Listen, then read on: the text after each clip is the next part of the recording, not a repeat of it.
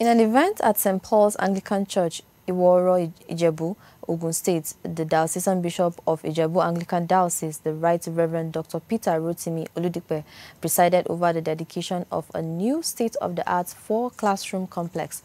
These classrooms, described as gigantic and modern, were generously donated by the Honorable Ifebolu Owotomo, the Honorable Commissioner for Agriculture, Development and Food Security in Ogun State. During his sermon, Bishop Oludipe highlighted the genesis of the noble endeavor, revealing that Honorable Bolu's initial intent was to celebrate his birthday in 2022 by chairing the construction project. However, Providence had different plans as Owotomo was elevated to the esteemed position of Honorable Commissioner the following year.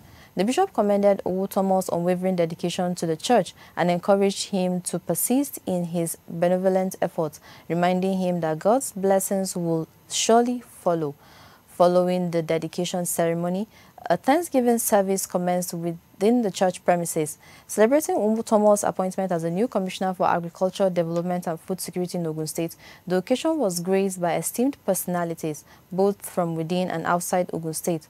Notable attendees included Her Excellency, Deputy Governor of Ogun State, Noimot Salako Oyedele, and Mr. Tokumbo Talabi, the Secretary to the State Government members of the Ogun State House of Assembly, and His Royal Highness Oba Gabriel Onafua, the Oliworo of Iworo, were also among the distinguished guests, marking the event's significance on the regional stage.